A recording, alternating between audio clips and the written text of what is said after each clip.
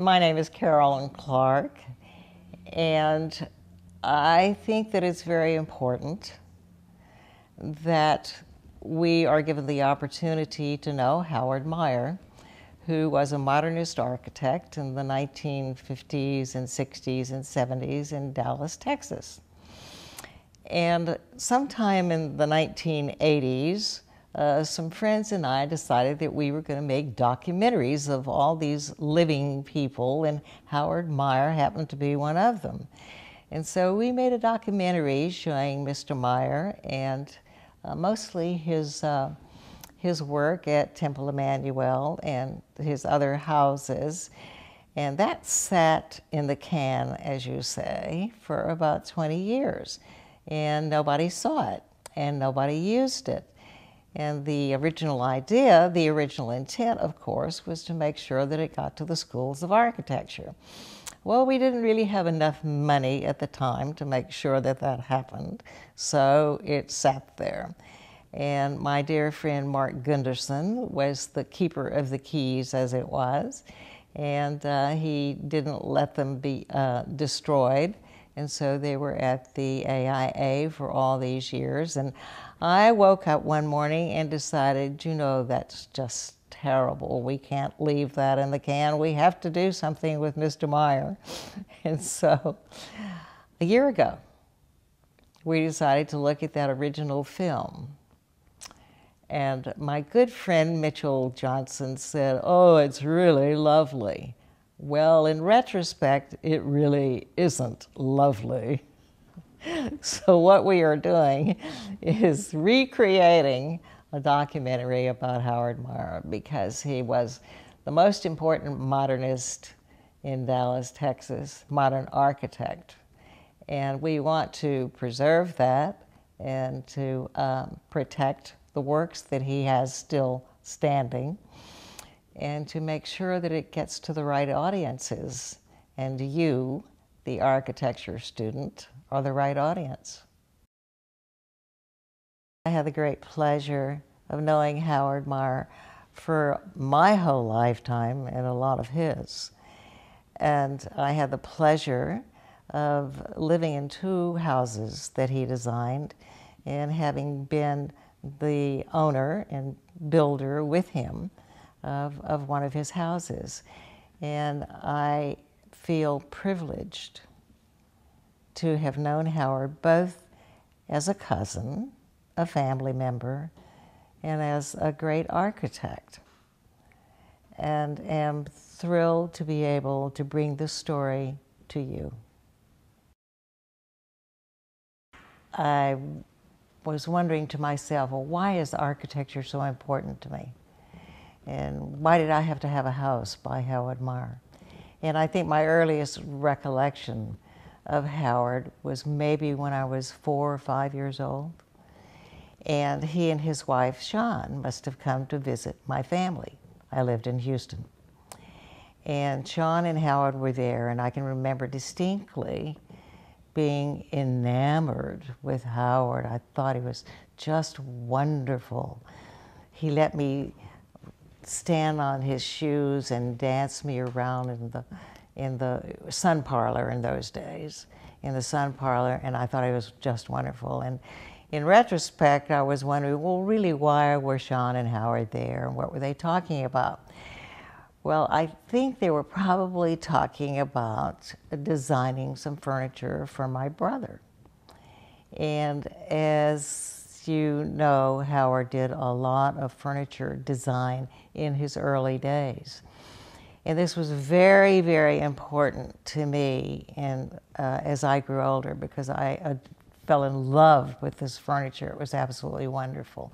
And fortunately, my brother had gone off to boarding school, so I got to use this wonderful desk. It was L-shaped. And uh, the top of it, it was probably birch, which is very reminiscent of a lot that Howard has done in his houses. It was either birch or pine desk. And the top of it was uh, red leather. And one of the uh, supporting uh, beams or pieces was a piece of steel.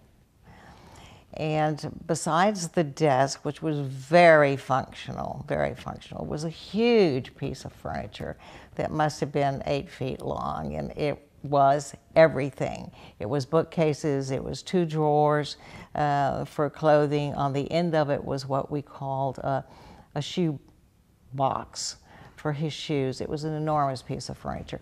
So I think I have been exposed to architecture and to Howard forever in, in, in my youth, you know. It got in my system, right?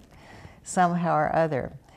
And um, then during the war years, when Howard was in the Engineer Corps, I believe, and he was designing um, uh, housing for the for the army. I happened to have been going to Hockaday at the time, and so I was in their house a lot. I was with Howard and Sean quite a bit during those years, but Howard was probably not not around very much because of his because of his duty. So the relationship was there, and it was there forever. And then when I moved to uh, Dallas in 1950, of course, we were very very involved as a family because Sean was my father's cousin. They had all come from Waco. And there is a lot of family that was there. And um, so we were familial. We, we, we knew one another quite a lot. And I had gotten married and lived in a very, very small house on Walnut Hill Lane and decided that the only thing that would make me happy would be to have a house designed by Howard Meyer. Well, at the same time that I thought I should have a house designed by Howard Meyer, um, they were thinking of building uh, a new temple. So this was a very busy time in Howard's life.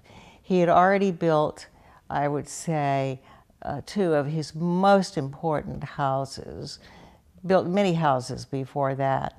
Um, but one of them was the uh, House, which is on Nakoma, and the other one was the Zale House, which was on Reams. And these were large, imposing, modern houses. He, Howard also had several on Rockbrook. He built four or five different houses on Rockbrook. And actually one down the street here that he had built for the Shannons, which was subsequently bought by Ray Nasher. So it's the Nasher house now with a lot of wonderful sculpture. Uh, but anyhow, I thought I had to have a Howard Meyer house. And so it took us at least, oh, I'd say a year and a half to design a house. And what we what we ended up with was a house that Howard was very proud of. He liked this house. He loved this house better than some of his others. There are lots of features in the Rockbrook house that are not in the other houses. And I think probably that has to do with the use of wood. Uh, for some reason or other, I got it in my head that I didn't want little narrow strips of wood on the floor. I wanted big, wide, old looking beams. And Howard came up with teak wood. Bet you there are not too many houses in Dallas that have teak floors. The whole house is wood, whether it's fir or teak or fir plywood, and windows. And to live in a house like this was an extraordinary experience. There were no other houses in Dallas quite like this in the 1960s. It was built in 1957.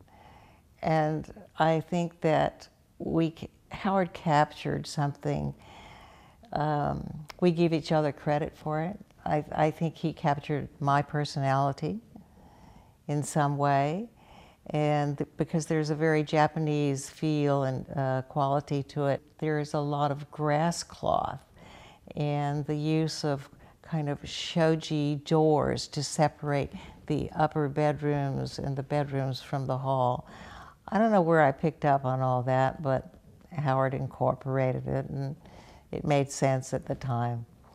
So it has, and, the, and I think because of the clerestory windows, it has somewhat of a Japanese feel to it. So this was a very, very important house um, architecturally. We lived here for um, 18 or 20 years, 20, 20 years. And um, my children were all in college, and um, I was divorced and decided that it was too much house to take care of.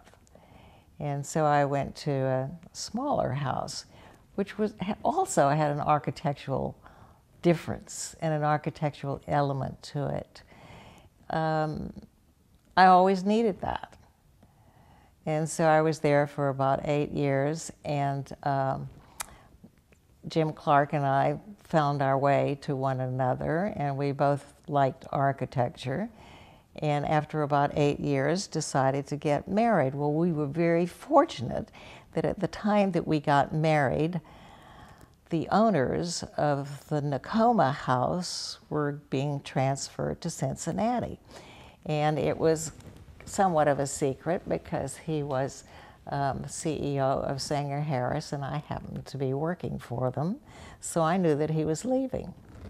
So without putting the house on the market, we went over to see them and we made a deal.